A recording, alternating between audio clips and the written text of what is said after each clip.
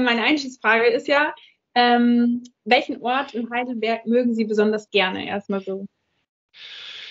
Also ich glaube, für mich ist die Theodor-Heuss-Brücke äh, ein sehr schöner Platz, wenn ich morgens mit dem Fahrrad zum Institut fahre. In, das Institut liegt ja in der Altstadt, ich wohne hier in Handschussheim.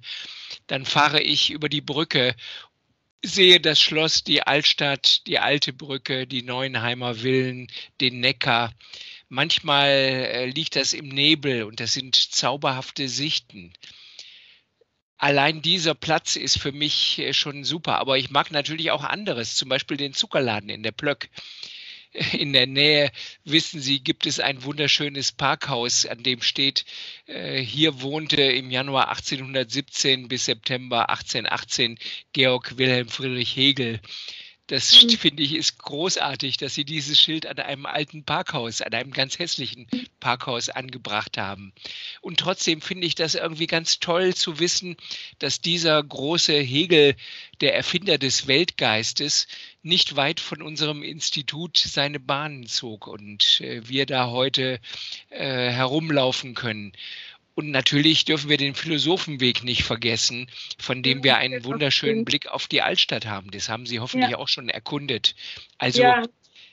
welchen Ort ich in Heidelberg mag, es gibt so viele schöne Orte. Ich finde auch ehrlich gesagt unser Institut einen schönen Ort. Ja, ohne Zweifel. Heute war ja auch richtig gutes Wetter. Ich war vorhin tatsächlich noch mit einer Freundin äh, beim Philosophenweg, wir sind da hochgejoggt, sie hat mich so ein bisschen da hochgejagt, aber äh, zumindest, äh, genau, oder heute ähm, hatten wir auch eine Vorlesung zusammengeschaut, ähm, weil die dann halt online war, hatten wir uns mit ein paar ähm, äh, Psychos dann in den Seminargarten gesetzt, der äh, in den Germ ach nicht Quatsch, doch in die germanistischen äh, germanistisches Seminar. Da gibt es ja diesen Garten ach, da davor. hinten am Karlsplatz, oder? Genau. Ja, ja. ja da in der Nähe von der UB. Das war auch ganz cool, oder? Generell. Ah, nee, das, das, ist aber nicht vom Germanistischen, das sind die Romanisten, wo, wo Sie gewesen ja, mein, sind. Ja. Das äh, hört ja. sich nach Romanisten an. Die Germanisten haben auch einen sehr schönen äh, ah. Hof, den kennen Sie anscheinend noch nicht. Der ist hinten nee. am Karlsplatz. Der ah, okay. ist noch ein anderer Platz. Äh, ah. Ja, ja, da muss man mal erkunden.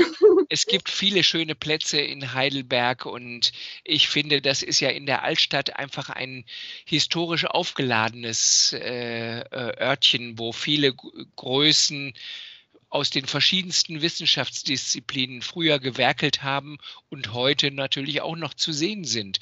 Wenn ja. Sie aufmerksam über die Hauptstraße laufen, sehen Sie vielleicht den ein oder anderen interessanten Zeitgenossen, äh, den man sonst nur im Fernsehen sieht. Ja, stimmt. Ist auch nett. Aber ich glaube, Sie haben andere Themen mit mir äh, vorzubesprechen, als nur die Schönheiten von Heidelberg hierzu auszuleuchten. Die sollen wahrscheinlich uns nur ein bisschen äh, aufwärmen und das Warming-up möglich machen.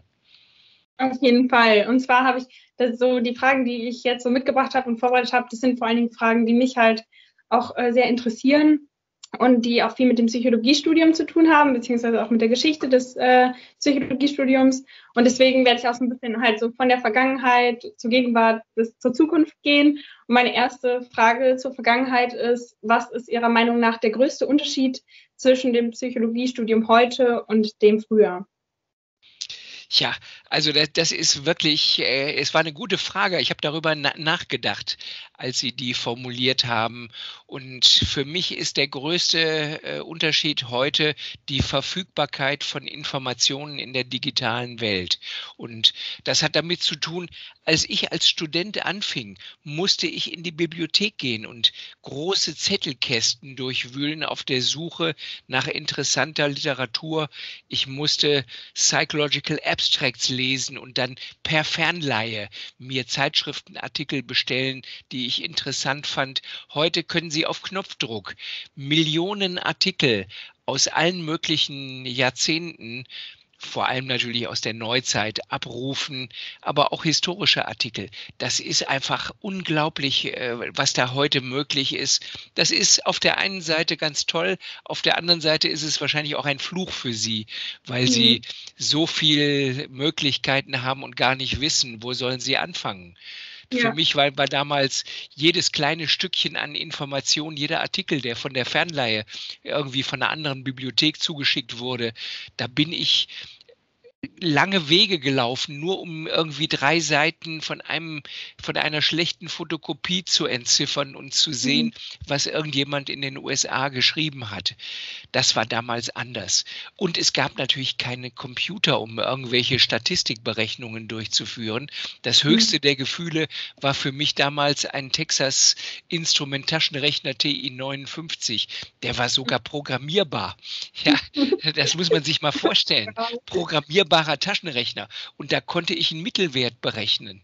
Ja, mhm. das sind alles Dinge, das ja. kann man sich heute gar nicht mehr vorstellen. Und wenn ich den nochmal nachprüfen wollte, musste ich nochmal ran und musste nochmal alle Rohdaten eingeben. Mhm. Das war eine ganz andere Situation. Faktoranalyse oder solche äh, Multilevel-Geschichten, wie sie sie heute machen, völlig unvorstellbar. Das ja. geht nur mit technischer Hilfe und das ist so ein Punkt, wo ich denke, da hat sich ganz viel gewandelt. Ob zum Besseren, die Verfügbarkeit ist für mich heute großartig. Ich liebe mhm. das, mhm. dass ja. ich an Literatur herankomme.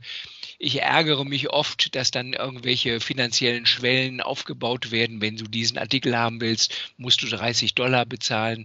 Aber ja. Sie kennen ja äh, auch alle unsere schwarzen Kanäle, äh, wie wir äh, auch kostenlos an solche teuren Artikel drankommen können. Das hat sich inzwischen doch ein bisschen verändert. Mhm. Tja, Kapieren geht über Kopieren, habe ich mir noch notiert. Das ist auch ein Spruch, den, den Sie wahrscheinlich heute noch kennen. Und in den 70er Jahren war das unser modernstes äh, technisches Gerät, der Kopierer. Und alles musste kopiert werden. Jedes Fitzelchen wurde mhm. sofort kopiert. Und wir haben damals immer gelächelt, gelächelt über die Studierenden, die ganz viel am Kopierer standen, anstatt zu lesen. Ja, ja. Ja, auf jeden Fall. Und auch das, was Sie gesagt haben mit dieser einfach dieser Riesenmenge an Artikeln. Ich weiß noch, als ich meinen ersten so richtigen ähm, Hausarbeit so geschrieben habe für pädagogische Psychologie, ist das ja das erste Mal, dass man so richtig dann auch selber sich alles erarbeiten muss. Und am Anfang war ich auch echt überfordert, weil man dann ja einfach so viele Sachen hat, die man lesen kann, auch theoretisch und gar nicht die Zeit hat, alles zu lesen. Das geht gar nicht. Genau. Ja. Ja, dann die zweite Frage, ähm, welche Inhalte des Studiums waren früher mehr vertreten? Da sind Sie ja schon jetzt so ein bisschen drauf eingegangen, dass äh, Statistik eben nicht so ähm, einfach dadurch, dass die technischen Möglichkeiten nicht gab, gar nicht so äh, viel vertreten war, aber ist Ihnen da noch was anderes aufgefallen? Naja, ich meine, das mit der Statistik finde ich nicht ganz unwichtig, weil äh, das ändert ja unseren Fokus ein bisschen weg mhm. von den Theorien, mit denen wir uns früher zum Beispiel intensiver beschäftigt haben, weil wir einfach keine Statistik machen konnten. Und hin heute reden wir als erstes über die statistischen Verfahren und mhm. die Theorie fällt ein bisschen hinten runter und das finde ich ehrlich gesagt äh, sehr schade und das ist für mich äh, einer der ähm, Punkte, wo ich denke, das hat sich deutlich gewandelt. Und ich glaube nicht, dass das eine gute Wandlung ist. Aber hm. so geht, geht die Zeit und ich glaube, ich will, ich kann da auch nicht gegensteuern. Das ist nicht aufhaltbar. Es mhm. ist ja auch toll, diese ganzen Instrumente zu haben, dass wir heute mit äh, der R-Software eine kostenlose Statistiksoftware haben. Es gab ja Übergangszeiten, da musste man teures Geld bezahlen für mhm. SPSS-Lizenzen und für andere Sachen das hat sich auch heute ein bisschen gewandelt und heute haben sie super Tools für Umme, für kostenlose äh, Nutzung. Das finde ich einfach schon großartig. Und man kann Hilfe in die anonyme Internetwelt rausrufen und sagen, ich kriege hier was nicht gelöst, kann mir mhm. jemand helfen? Und sie ja. finden meist jemanden, der hilft. Auch das ja. ist großartig. Ja? davon, davon konnte ich in den 70er Jahren nur träumen. oh, davon habe ich nicht geträumt. Ich vorstellen. Okay, die, die dritte Frage. Ähm, was würden Sie Ihrem damaligen studentischen Ich aus heutiger Sicht mit auf den Weg geben? Habe ich mir noch so als Frage äh, ausgedacht quasi. Ja, das ist eine sehr gute Frage. Äh, ich würde, glaube ich, noch mehr als früher in Nachbarfächer hineinschauen. Ich mhm. glaube, wir machen heute einen großen Fehler, indem wir sie ja äh, einfach auf die Psychologie zu 100 Prozent einnorden. Und mhm.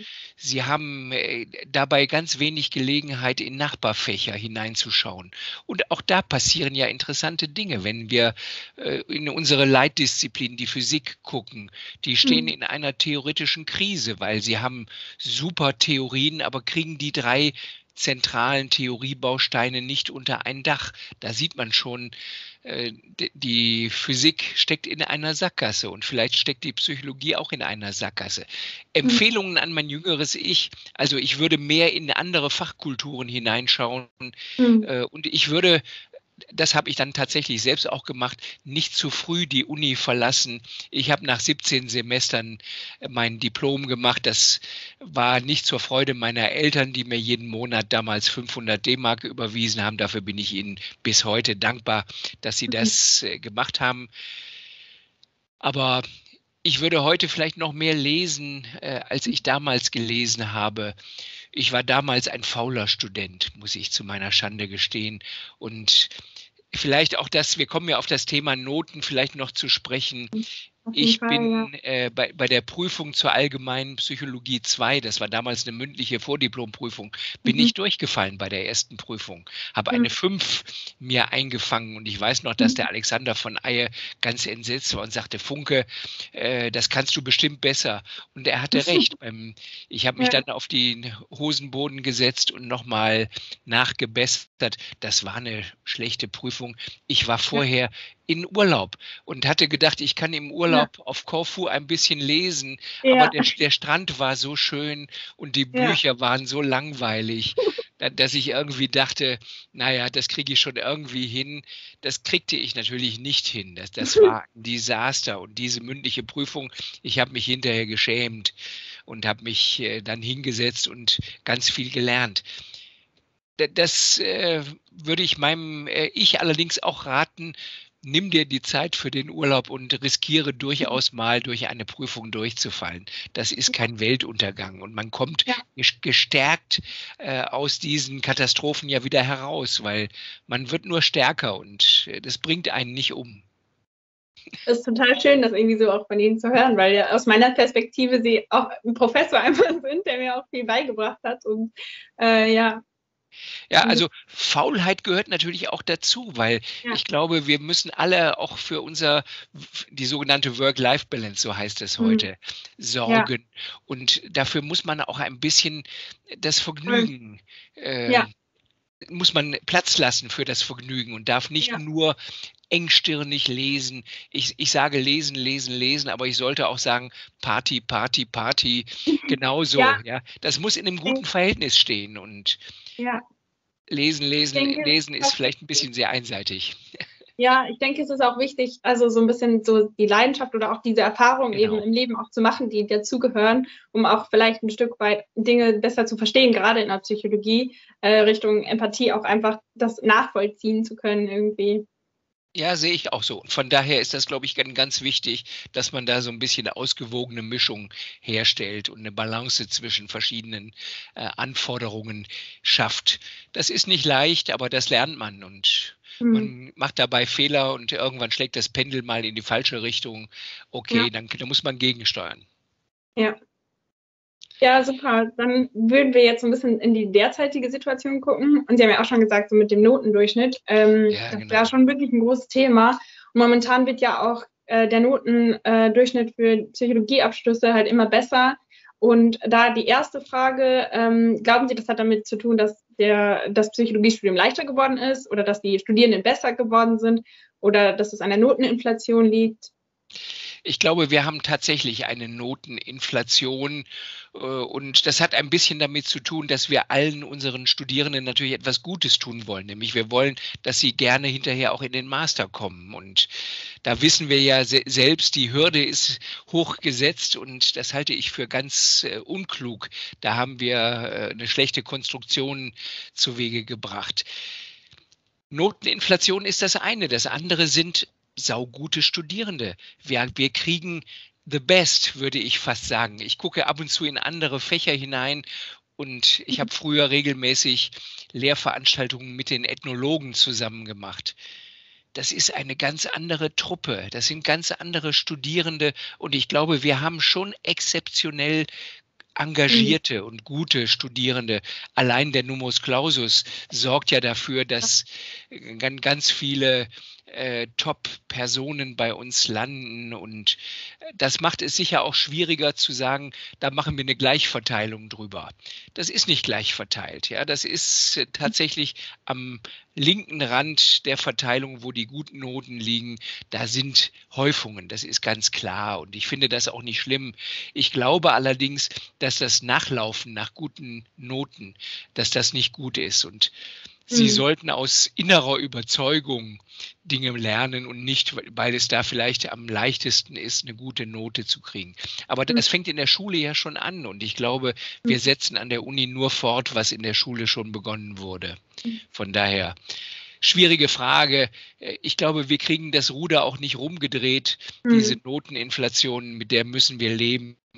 Mhm. Und ob irgendwann mal ein harter Schnitt kommt, weiß ich nicht, ob das hilft. Ja, ja, ich denke, es ist so ein bisschen die Frage, ich habe auch äh, hier im Wohnheim oder generell mit vielen äh, Studenten aus anderen Fächern oder Studentinnen zu tun. Und ähm, da ist es natürlich schon so, dass die Psychologie so ein bisschen raussticht mit dem Notendruck als genau. Fach, einfach weil da ja auch der Bachelor, äh, ja, also die, die Masterbewerbung dann im Endeffekt wieder dranhängt.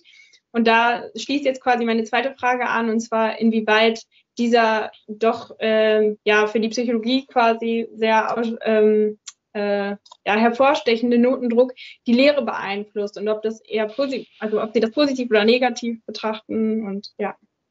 Ich halte das nicht für gut. Sie wissen, dass in meiner Vorlesung Einführung in die Erkenntnistheorie der Essay, den Sie dort schreiben müssen, unbenotet bleibt.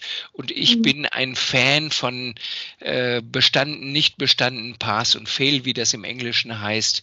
Ich finde, äh, das kann ich eher beurteilen, als zu sagen, das war jetzt ein Zweier-Essay oder ein Dreier- oder ein Vierer-Essay. Das mhm. sind sehr willkürliche äh, Entscheidungen und ich glaube, da haben auch die Lehrenden natürlich Schwierigkeiten, faire Noten zu geben und im mhm. Zweifel macht man sich dann einfach und sagt, wir machen eine Eins, dann da, da kann keine Beschwerde kommen, da ist jeder zufrieden. Das ist ganz unglücklich und ich weiß nicht, ob das eine gute Strategie ist für die Lehre. Wir wollen anspruchsvolle Lehre machen. Das ist, glaube ich, hm. schon ein Ziel, auch in Ihrem Interesse. Und eine Lehre, die einfach nur gute Noten hervorbringt, ohne dass sie irgendwas vermittelt, die finde ich, hm. die kann nicht gut sein. Ja, ich glaube auch, dass das äh, Interesse und halt so diese intrinsische Motivation, dass es halt schon ein großer Faktor ist, so inwieweit das ähm, diese Noten da vielleicht eher so als ja externer Anreiz irgendwie gesehen werden nur und ähm, genau. inwieweit das Studierende dann auch äh, lernen, um ja zu lernen oder auch um eine gute Note zu bekommen oder ist das quasi ja ähm, vielleicht auch äh, beides manchmal hilfreich so? Ähm, ich weiß nicht. Ja, also ich weiß es ehrlich gesagt auch nicht genau. Ich glaube, dass wir mit der Noten, mit dem Notendruck keinen äh, guten, kein gutes Instrument zum Lernen in der Hand haben. Ja. Auf der anderen Seite brauchen wir die Noten für die Selektion. Das ist, glaube ich, äh, unübersehbar. Mhm. Und ja, ich kann ja, darauf halt auch. Da, ja, da steckt halt das Problem dahinter mit den, mit den Masterplätzen einfach, ne? Dass da genau. einfach dass wir zu wenig Masterplätze haben, genau. Es ja. wäre ja völlig unproblematisch, wenn wir. Hallo? Ja. Hallo? Es, es wäre, jetzt sind, sind, Sie irgendwie verschwunden bei mir.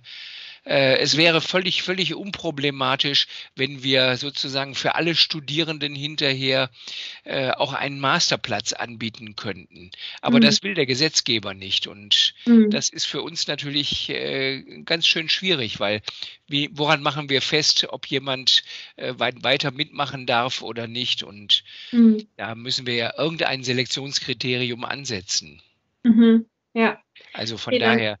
das ist eine schwierige Situation. Ja. Okay, noch eine Frage so ein bisschen zu, zur derzeitigen Situation, die mich natürlich auch irgendwie interessiert. Und zwar die Frage, was ähm, macht für Sie einen guten Psychologiestudenten bzw. eine gute Psychologiestudentin aus? Auch das ist eine ganz schwierige Frage. Äh, ich finde, was einen guten Studenten ausmacht, hat für mich sehr viel damit zu tun, welche Motivation liegt vor? Und äh, ich wünsche mir eigentlich neugierige Geister, die kritisch denken und nicht um jeden Preis dem Mainstream folgen. Das ist für mich ein ganz wichtiger Punkt. Wir haben so viele Fische, die mit dem Strom schwimmen. Ich bin dankbar für jeden Fisch, der gegen den Strom schwimmt. Mhm. Wie heißt es so schön? Nur tote Fische schwimmen mit dem Strom und die lebendigen schwimmen gegen den Strom. Ja, mhm. das, ich wünsche mir, dass wir auch ein bisschen hinterfragen, machen wir das wirklich richtig, wie wir es im Moment machen? Ich glaube, es läuft so viel falsch. Und mhm. äh, das kriegen wir nicht hin, wenn wir alle nur dem Mainstream nachlaufen, sondern wenn wir ab und zu mal kritische Fragen stellen und sagen, mhm gibt, geht es nicht vielleicht auch noch anders und es geht meist anders. Also von daher äh, ist das, glaube ich, auch eine ganz wichtige äh, Entscheidung. Will man sozusagen einfach nur mit dem normalen Business mitschwimmen, so schnell wie möglich sein Zertifikat kriegen und dann irgendwo eine eigene Praxis aufmachen oder was immer das Fernziel des Studiums ist? Oder möchte man die Wissenschaft wirklich ein Stück vorantreiben? Und ich mhm. wünsche mir natürlich Studierende, die auch an der Zukunft unserer Wissenschaft mitarbeiten. Das ist mhm. ein lebendiger Prozess und das entscheidet nicht eine einzelne Person, sondern das ist eine ganze Community. Und je mhm. mehr Leute wir gewinnen können, die uns helfen beim Mitnachdenken über mhm. die richtige Zukunft, umso besser. Ja, und ja. Da, da brauchen wir alle möglichen Personen. Das kann nicht eine Einzelne entscheiden, wir gehen morgen in die und die Richtung, sondern das mhm. muss Konsens, das müssen wir aushandeln, das müssen wir diskutieren es gibt ja auch viele Psychologiestudierende, die jetzt äh, nicht in die, in die Wissenschaft oder so gehen. Würden genau. Sie sagen, dass äh, eine Psychologiestudentin oder so, die ähm, eine gute Psychologiestudentin oder Student, äh, der nachher auch äh, quasi ein guter Therapeut oder Therapeutin wird? Oder wie, wie hängt das zusammen, würden Sie sagen? Ich glaube, dass äh, eine gute wissenschaftliche Ausbildung auch für eine Therapieausbildung sehr hilfreich ist wir sagen ja immer, nichts ist so praktisch wie eine gute Theorie. Und wenn Sie zum Beispiel gute äh, Methodenkenntnisse haben und in der Lage sind, wissenschaftliche Artikel zu lesen und zu bewerten und sich nicht ein X für ein U vormachen lassen, dann werden Sie auch in 30 Jahren in Ihren Praxisräumen, wenn Sie neue Artikel über Therapieverfahren, die dann mhm. entworfen äh, werden, wenn Sie die beurteilen können, dann haben Sie etwas, wovon sie lange zehren können. Und von daher glaube ich, ist diese Gegenüberstellung entweder für die Praxis lernen oder für die Wissenschaft lernen, das halte ich für einen falschen Gegensatz. Hm. Es ja. landen manche in, in der Praxis, das ist keine Frage, die haben vielleicht kein großes Interesse an der wissenschaftlichen Weiterentwicklung.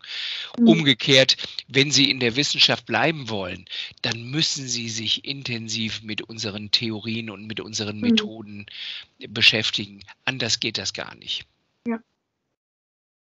Ja. Gut. Das ist ja dann die Frage, ob man das an der Fachhochschule vielleicht besser platziert. Das ist ja von einigen Kollegen mhm. vorgeschlagen worden. Wir machen ja im Moment eine Klinifizierung des Studiengangs durch, dass mhm. wir mit der Einrichtung des Approbationsstudiengangs, ich weiß gar nicht, ob Sie in den Genuss kommen werden, dass mhm. äh, der erste Jahrgang quasi. Sie sind der erste Jahrgang, genau. Ja. Sie werden das Glück haben, dass Sie gleich mit Ihrem äh, Masterabschluss eine Approbation in die Hand gedrückt bekommen können.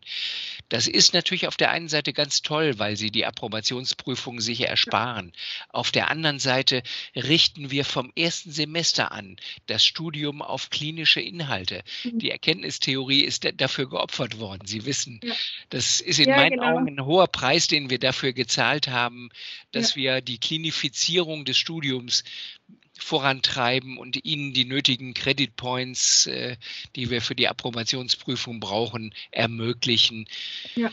Da, da, sind nicht alle mit glücklich. Das, das ist einfach, äh, ist so. Und mhm. trotzdem finde ich das eine gute Entwicklung, weil wir sind endlich auf einem Weg parallel zur Medizin.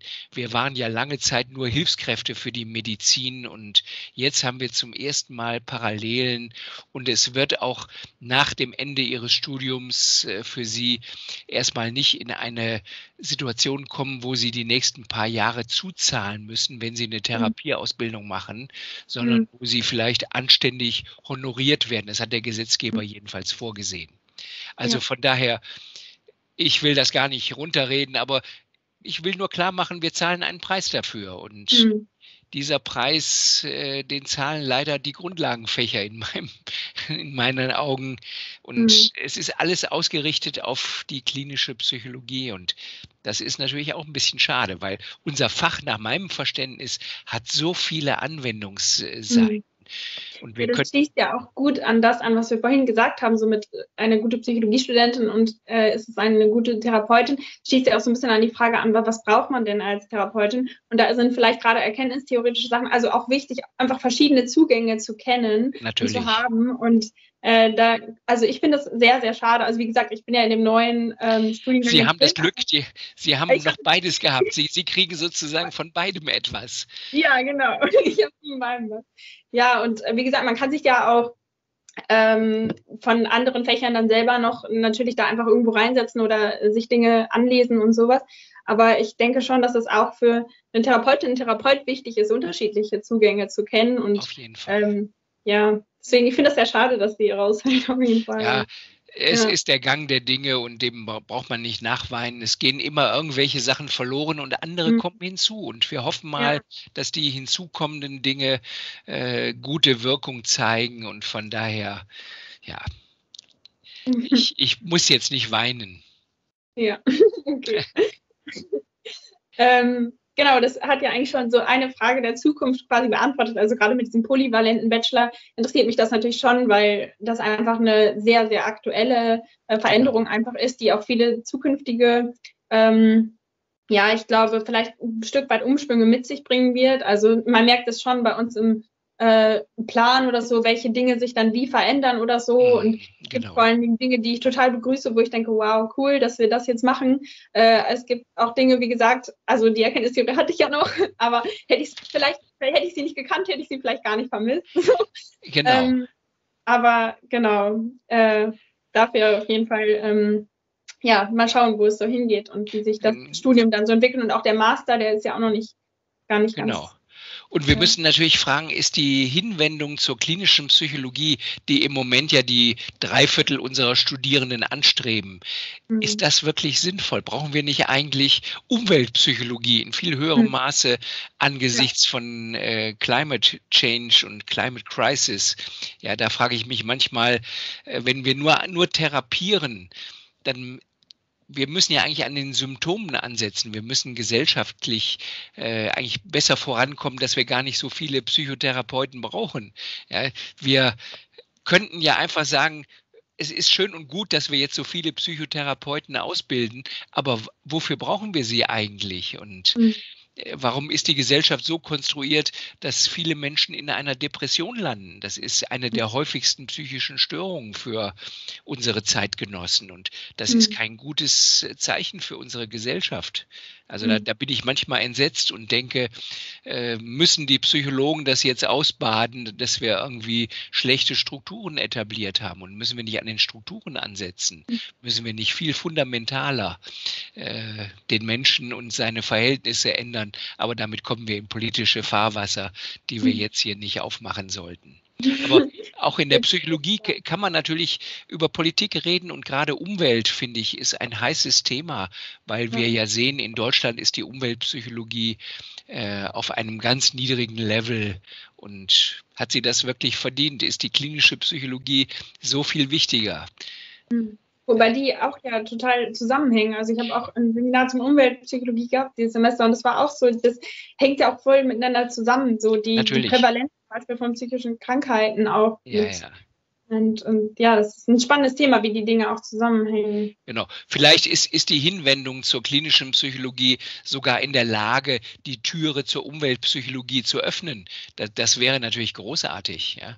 Und vielleicht ist die Hinwendung zur klinischen Psychologie auch eine, die die Erfordernisse der theoretischen Psychologie nochmal unterstreicht. Dass wir ja. vielleicht sehen, dass wir gute klinische äh, Psychologie nur machen können mit guten Theorien und das fängt ja schon bei Diagnosesystemen und Ähnlichem an. Da gibt es so viele Ansatzpunkte, wo ich glaube, da muss man nochmal gründlich drüber nachdenken, ob die gegenwärtige Praxis wirklich das Gelbe vom Ei ist und ob wir da alles richtig machen. Das glaube ich nicht. Ja, Wunderbar. kommen wir zur letzten Frage. Ich glaube, die wurde auch schon so eigentlich einigermaßen angeschnitten, auf jeden Fall viele Punkte davon. Aber ähm, nochmal konkret, die Frage ist ja, was denken Sie, ähm, wo sollte sich die psychologische Forschung in Zukunft hin entwickeln? Jetzt wurde genannt zum Beispiel so die, ähm, äh, die Umweltpsychologie, aber fällt Ihnen noch was anderes ein oder ist das so der Punkt, den Sie sehen in der Zukunft? Also ich würde viel fundamentaler eigentlich ansetzen. Für mich äh, ist, ich bereite gerade einen Vortrag für den Herbst vor. Wir wollen bei uns im Innenhof des Psychologischen Instituts eine Büste aufstellen für Wilhelm Wundt. Sie kennen Wilhelm Wundt, den Gründer der modernen naturwissenschaftlichen Psychologie. Er hat in Leipzig 1879 sein erstes psychologisches Laboratorium gegründet. Er hat seine Ausbildung in Heidelberg genossen. Und mhm. die Leipziger sahnen allen Ruhm für Wilhelm Wundt ein. Die Heidelberger haben bislang noch nicht mal irgendwo eine Gedenktafel für Wilhelm Wundt. Und wir haben jetzt beschlossen, wir werden eine Wundbüste bei uns im Innenhof aufstellen. Der hat hier in der Hauptstraße bei äh, Helmholtz ja studiert, war Assistent lange Jahre. Die Uni Heidelberg hat ihm so schlechten Vertrag angeboten, dass er lieber nach Leipzig weggegangen ist und dort gut ausgestattet wurde, als dass er hier länger äh, als außerplanmäßiger Professor in Heidelberg bleibt. Wilhelm. Wundt hat damals, weil er bei den Physikern gelernt hat, die Psychologie nach dem Vorbild der Physik geschaffen und uns gesagt, wir müssen die Atome des Psychischen suchen. Atomphysik war damals der letzte Schrei in der Physik und Wundt hat gesagt, oh, die sind so erfolgreich. Wir kopieren das Beispiel der Physik und übertragen das auf die Psychologie und suchen nach den Atomen des Psychischen.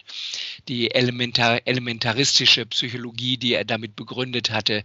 Ich halte äh, das für einen großen Irrtum und glaube, wir sind durch ihn auf einen falschen Weg geschickt worden, nämlich nach dem Vorbild der Physik. Wiederholbarkeit war für Wund eines der wichtigsten Kriterien eines Experiments. Die Physiker haben mit ihrer naturwissenschaftlichen experimentellen Methode gezeigt, wenn ich Phänomene wiederholt zeigen kann, dann mache ich gute Wissenschaft. Und Wund hat gesagt, das müssen wir auch im psychologischen Laboratorium. Aber trifft das für den Menschen wirklich zu oder ist das nicht nur für tote Materie? Wenn Sie mir einen Witz erzählen, kann ich beim ersten Mal wahrscheinlich herzlich darüber lachen, wenn es ein guter Witz ist. Mhm. Aber schon beim zweiten Mal friert mir das Lächeln ein bisschen ein und beim dritten oder vierten Mal, wenn Sie den nochmal erzählen und replizieren wollen, ob Sie mein Lachen äh, replizieren können, werden Sie merken, der Funke lacht nicht mehr, der wird jetzt sogar ärgerlich. Was hm. passiert da eigentlich? Ja, das, ich bin keine tote Materie, ich bin kein Stein, mit dem Sie zehnmal äh, ein Experiment durchführen können. Wir lassen zehnmal den Stein fallen und zehnmal fällt er genau in der gleichen Weise. Menschen sind historische Wesen. Historizität, sagt der Alexander Wendt immer so schön. Ja, Historizität, das ist für mich ein Merkmal, das hat die Physik überhaupt nicht. Der, der Stein hat, natürlich hat er eine Geschichte, aber die Geschichte Geschichte spielt in dem Moment, wo ich mit ihm experimentiere, keine Rolle mehr. Bei uns Menschen ist die Geschichte in jeder Minute wirksam. Und deswegen, wenn Sie mir dreimal denselben Witz erzählen, ist mein Gelächter, was Sie messen, deutlich unterschiedlich und es ist nicht replizierbar. Ja.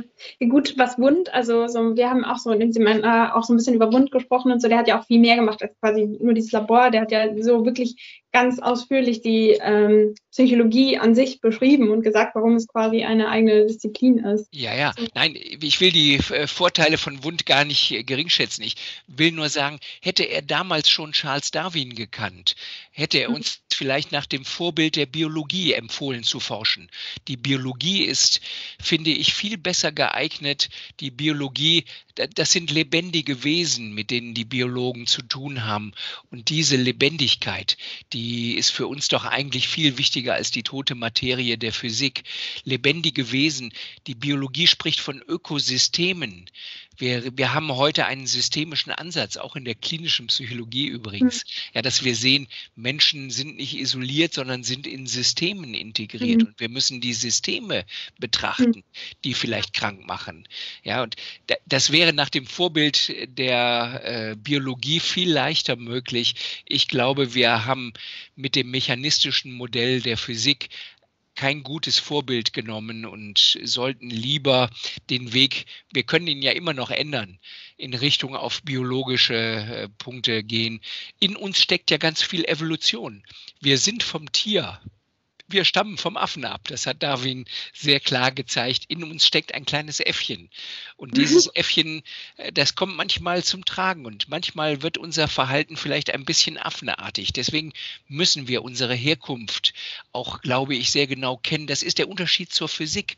Die braucht sich nicht zu kümmern um Affen oder sonstige evolutionäre Geschehnisse die haben ihre eigene Evolution, ich weiß das, aber die Biologen machen das ein klein bisschen anders. Und ich, ich finde manchmal, wir könnten von den Biologen ganz viel abgucken. Und äh, vielleicht würde unsere Theoriebildung auch ein bisschen anders aussehen, wenn wir äh, statt auf diese Wiederholbarkeit immer zu starren und zu sagen, mhm. kann ich ein Phänomen replizieren, die Physik kann das problemlos. In der Psychologie sollten wir vielleicht akzeptieren, dass wir bestimmte Phänomene nicht wiederholen können, sondern dass die einmalig sind. Ja? Der erste Lacher, den Sie beim Witzerzählen auslösen, der ist einmalig. Und diese Einmaligkeit ist doch was Großartiges. Mhm. Lassen Sie uns die feiern und nicht versuchen, den Mittelwert aus zehn Lachern zu bilden und zu sagen, das ist die durchschnittliche Effektstärke eines, einer so und so Witzerzählung. Das finde ich wäre erbärmlich erbärmlich. Das wäre keine gute Wissenschaft. Ja. Da, da setzen wir Statistik am falschen Ort ein. Aber von daher, ich lästere jetzt ein bisschen. Das ist. Nee, äh, spannend auf jeden Fall. Vielen, vielen Dank übrigens auch. Also ich, mir hilft das total und wie gesagt, es sind auch einfach Fragen, die mich total interessieren und äh, auch Ihr Blickwinkel da drauf, der ähm, bereichert mein Wissen auf jeden Fall oder meine, meine Einstellung auch. Und äh, ja, vielen, vielen Dank. Wir sind auch eigentlich schon am Ende des äh, Interviews